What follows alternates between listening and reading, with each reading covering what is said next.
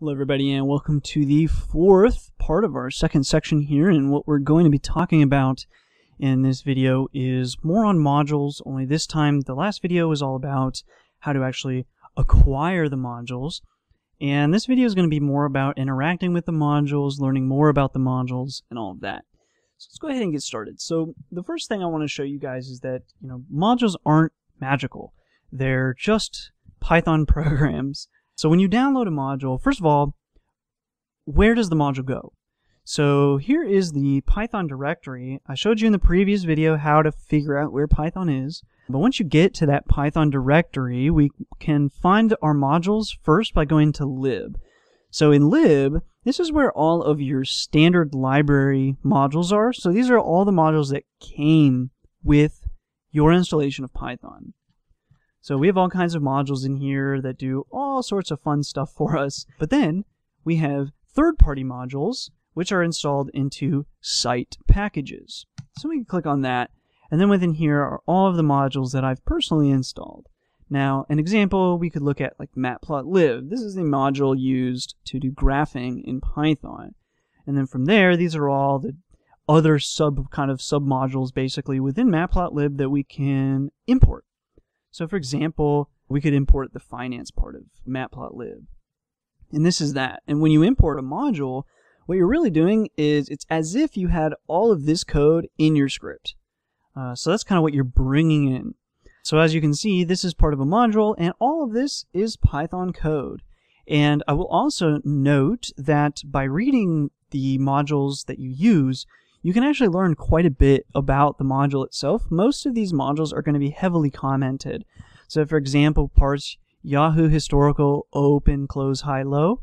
That's really simple, but we can also check this and we can learn all about the parameters here. So adjusted, it's a boolean and that means yes or no basically. So are we looking for adjusted or not and all that and so on. And then there's even a version for open, high, low, close to be pulled.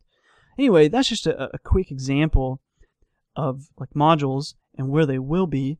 But then also there is another location. So when, when you go to import a module, the Python is going to look for that module in several locations. The first location is actually going to be local, right where your script is.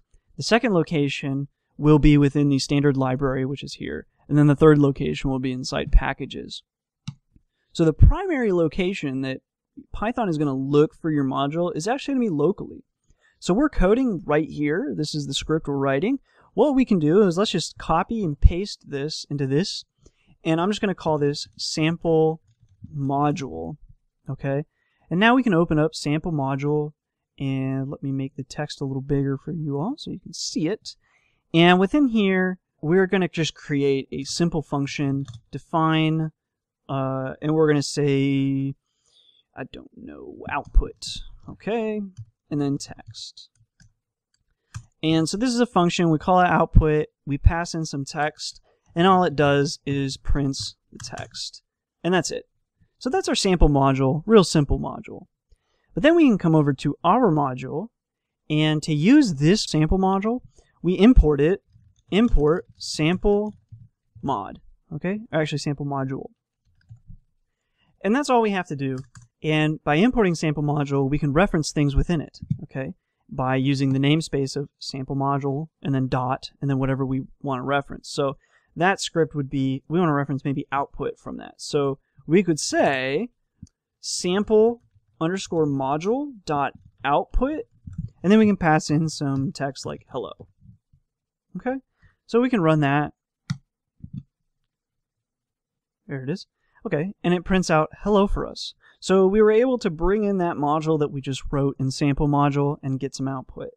Now, when you import modules, you can do all kinds of stuff. So you could say, for example, from sample module import output.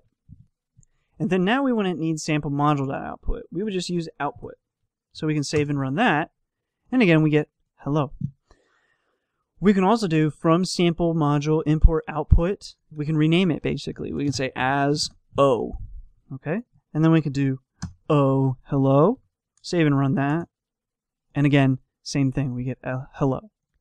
Finally, the other thing we can do is what if sample module has like, I don't know, a hundred functions that we want to, to use? what we can do is you can say from sample module import and then use this asterisk. Asterisk means everything. So then, again, this needs to be output, however. By the way, we can run that. And again, that works, okay? So that's just a quick example of, you know, using modules, interacting with modules, and all that. The only other thing I'm going to mention is a lot of times when you're learning about a module, it's really simple to name your Python script the same thing as that module. And this is a huge mistake. And then also you might name it the same thing as maybe a method or a class used in that module, and you might import that. Or you might name it the same thing as that module also imports. And so you would definitely want to be careful about this because, again, the first place Python is going to look for all modules is going to be locally. It's going to be right in that same directory. So even, that includes scripts that you import. So if we import sample module and then sample module just happens to import something else, if we name our script the same thing as that something else, it's going to actually try to import our script instead. And so it's going to create a mess. So make sure that you name your Python files something that is not going to conflict. And if for whatever reason something is going awry and you can't figure it out, always check to make sure you're not using some sort of goofy name because that's going to throw you up. It throws everybody up. But once you get used to it, hopefully you won't name your files bad names anymore. So, anyways, that is modules. In the next tutorial, what we're going to be talking about is databases. And that will be a part of a new section for us, section 3. So stay tuned for that. We'll be using SQLite 3, which is part of the standard library, actually. So here it is for us, SQLite 3. So you won't actually have to install this one. So stay tuned for that, and thank you for watching.